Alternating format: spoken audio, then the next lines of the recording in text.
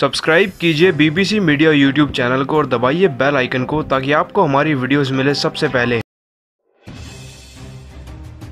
दोस्तों, अगर आप भी महेंद्र सिंह धोनी को एक महान खिलाड़ी व कप्तान मानते हैं तो वीडियो को लाइक करना नहीं भूलिएगा। दोस्तों, भारत और ऑस्ट्रेलिया की टीम के बीच में वर्ल्ड कप 2019 का चौदवा मुकाबला खेला जा रहा है, जो कि अपने आप में ही काफ़ी ज़्यादा रोमांचक है। और आपको बता दें कि लंदन के ओवल में खेले जा रहे इस मुकाबले में टॉस जीतकर भारतीय टीम के कप्तान विराट कोहली ने पहले बल्लेबाजी करने का फैसला किया। उसके बाद सबको कहीं ना कहीं यह लग रहा था की ऑस्ट्रेलिया की टीम हावी पड़ सकती है भारतीय टीम पर। लेकिन आज जैसे ही भारतीय टीम की सलामी जोड़ी, यानी कि रोहित शर्मा और शिखर धवन मैदान पर उतरे तो माजरा कुछ और ही था। इन दोनों ही खिलाड़ियों ने कुछ इतनी धाकड़ फॉर्म में बल्लेबाजी करी कि ऑस्ट्रेलिया की टीम के गेंदबाजों के लिए इस जोड़ी को तोड़ पाना लगभग नामुमकिन सा हो गया था।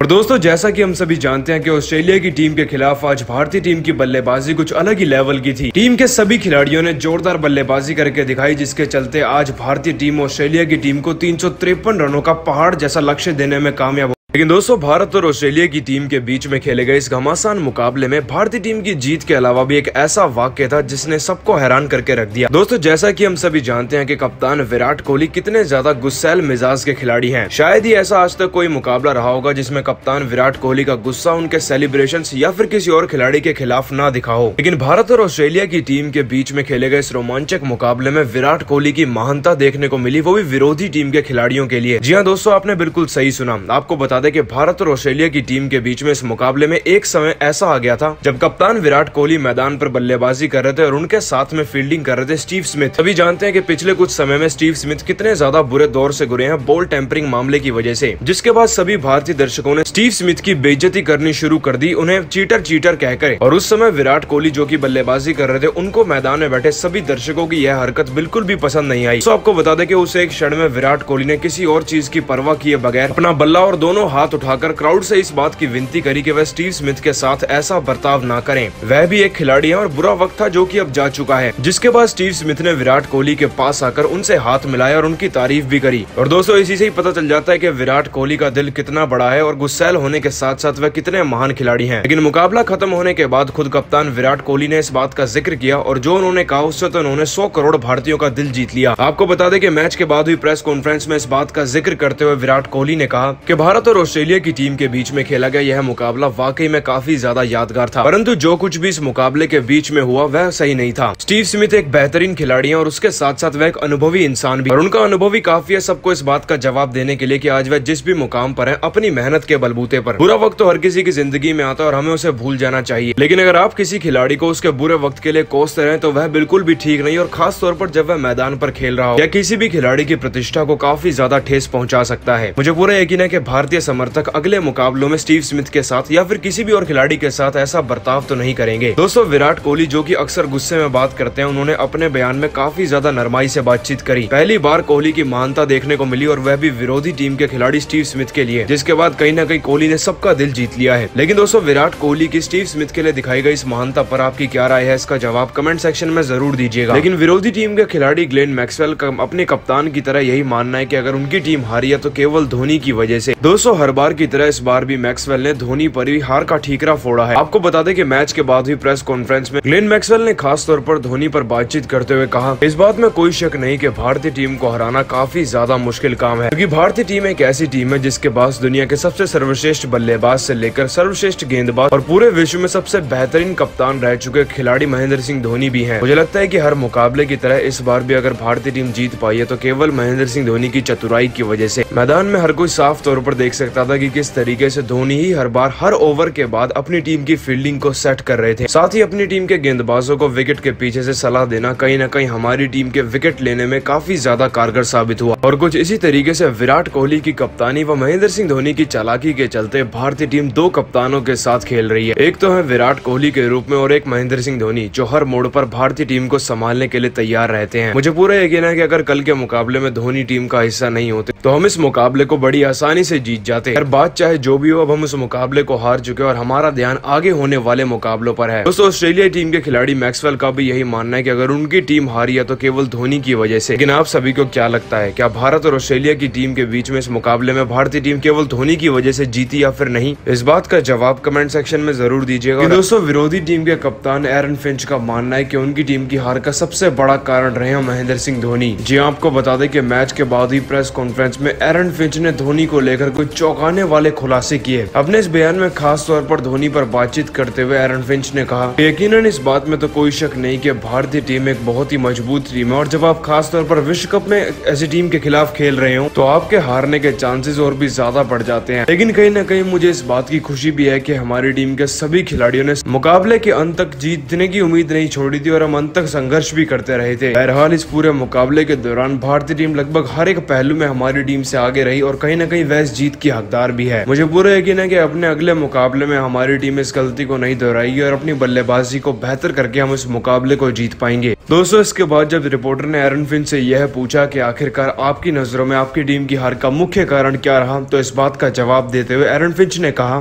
कि भारतीय टीम के पास इस समय केवल कप्तान कोहली नहीं, बल्कि महेंद्र सिंह धोनी भी है। और मेरे नज़रिए में अगर किसी टीम के पास मैदान में दो दो कप्तान मौजूद है तो उसका जीतना तो लाजमी है। हम सभी जानते हैं की मैदान में किस तरीके से महेंद्र सिंह धोनी भारतीय टीम की कप्तानी को बखूबी संभालते हैं। धोनी का बात बात पर फील्डिंग सेट करना और गेंदबाजों को सही सलाह देना ही भारतीय टीम की जीत का असली कारण है। जब पूरा यकीन है कि जब तक धोनी जैसे महान कप्तान भारतीय टीम का हिस्सा रहेंगे, तब तक इस टीम को हराना काफ़ी ज़्यादा मुश्किल होगा। दोस्तों, अपने इस बयान में एरन फिंच ने बताया कि किस तरीके से धोनी भी भारतीय टीम की कप्तानी को संभालते हैं। हमेशा की तरह इस बार भी धोनी मैदान में भारतीय टीम की कप्तानी करते हुए देखे। साथ ही विराट कोहली भी बात बात पर उनसे सलाह ले रहे थे। और ऐसा सिर्फ़ हमारा मानना नहीं है दोस्तों। आपको बता दें कि मैच खत्म होने के बाद कप्तान विराट कोहली ने खुद इस बात का ज़िक्र किया। इस जीत का श्रेय धोनी को देते हुए कप्तान विराट कोहली ने पोस्ट मैच प्रेजेंटेशन में कहा ऑस्ट्रेलिया जैसी मज़बूत टीम के खिलाफ यह जीत वाकई में काफ़ी ज़्यादा यादगार है। इन्होंने इस बात में कोई शक नहीं कि ऑस्ट्रेलिया की टीम काफ़ी ज़्यादा मज़बूत है। उसके बावजूद आज जिस तरीके से हमारी टीम के खिलाड़ियों ने बल्लेबाजी करके दिखाई और फिर शानदार गेंदबाजी करके उस लक्ष्य को डिफेंड करा, वह वाकई में काबिल तारीफ़ है। मेरे नज़रिए में हम इस मुकाबले को जीत पाए तो सबके एकजुट प्रदर्शन की वजह से। टॉप ऑर्डर ने अच्छी बल्लेबाजी करी, उसके बाद मिडिल ऑर्डर के खिलाड़ियों ने भी आज अपनी ज़िम्मेदारी को समझा। खुश हो की हमारी टीम के सभी गेंदबाज भी अच्छी फॉर्म में चल रहे हैं। हमारी पूरी कोशिश रहेगी की हम अगले मुकाबले को भी जीत सके। दोस्तों, इसके बाद जब संजय मांजरेकर ने कप्तान कोहली से यह पूछा कि ऑस्ट्रेलिया के खिलाफ आपकी इस विशाल जीत में सबसे बड़ा कारण आपके नज़रिए में क्या रहा तो इस बात का हंसकर जवाब देते हुए कप्तान कोहली ने कहा, वैसे तो हम इस मुकाबले को सबके एकजुट प्रदर्शन की वजह से जीते हैं। लेकिन कहीं न कहीं मुकाबले में आज जिस तरीके से धोनी भाई ने कप्तानी करके दिखाई और सही समय पर अपनी टीम को मैक्सवेल का विकेट दिलवा दिया चहल के साथ मिलकर, उस लम्हे ने कहीं न कहीं भारतीय टीम के लिए इस मुकाबले को पलट कर रख दिया था। हमारी टीम पूरी तरीके से ऑस्ट्रेलिया की टीम के खिलाड़ियों पर अब हावी हो चुकी थी और हम इस मुकाबले को जीतते हुए चले गए। मुझे उम्मीद है कि हम आने वाले मुकाबले को भी ऐसे ही जीत पाएँगे। दोस्तों कप्तान कोहली तक का मानना है कि भारतीय टीम जीत पाई है तो धोनी की शानदार बल्लेबाजी और उनकी कप्तानी के चलते। हालाँकि टीम के बाकी खिलाड़ी जैसे की हार्दिक पांड्या, शिखर धवन व रोहित शर्मा ने भी अच्छी बल्लेबाजी करी। लेकिन धोनी की कप्तानी और उनके मास्टर प्लान व चालाकी के तो क्या ही कहने। लेकिन दोस्तों, आप सभी को क्या लगता है, क्या सच में भारतीय टीम ऑस्ट्रेलिया के खिलाफ धोनी की कप्तानी के कारण ही जीती है या फिर नहीं? इस बात का जवाब कमेंट सेक्शन में ज़रूर दीजिएगा। दोस्त, अब अगर तारीफ़ भी करी जाए तो किस खिलाड़ी की? सलामी जोड़ी से लेकर मिडिल ऑर्डर के सभी बल्लेबाज शानदार फॉर्म में थे। बात चाहे रोहित शर्मा की हो या फिर शिखर धवन की, या फिर मिडिल ऑर्डर में खेल रहे हैं कप्तान विराट कोहली और हार्दिक पांड्या के बाद महेंद्र सिंह धोनी की। आज सबने मैदान में इतनी जानदार बल्लेबाजी करी कि इस पारी को तो पूरे विश्व कप में याद रखा जाएगा। तो दोस्तों, इंडिया की टीम द्वारा दिए गए तीन सौ तिरपन रनों के पहाड़ जैसे लक्ष्य का पीछा करने उतरी ऑस्ट्रेलिया की टीम की शुरुआत बेहद ही जोरदार रही। आपको बता दें कि ऑस्ट्रेलिया की टीम की सलामी जोड़ी के बल्लेबाज व कप्तान एरन फिंच भले ही अपनी पारी में 36 रन लगाकर पवेलियन की तरफ़ लौट गए हों, लेकिन ग्रीस के एक छोर से आज जेविड वार्नर काफ़ी अच्छी बल्लेबाजी कर रहे थे और उन्होंने अपना अर्शतक भी लगा लिया था। हालाँकि फिर वह छप्पन रन बनाकर आउट हो गए, जिसके बाद उस्मान ख्वाजा के साथ मिलकर स्टीव स्मिथ ने काफ़ी धाकड़ बल्लेबाजी करी और स्मिथ ने तो अपना अर्शतक भी काफ़ी जल्दी पूरा कर लिया था। लेकिन दोस्तों, आपको बता दें कि ऑस्ट्रेलिया की टीम का सबसे अहम विकेट यानी कि डेविड वार्नर का विकेट दिलवाया आज भारतीय टीम को महेंद्र सिंह धोनी की चालाकी ने।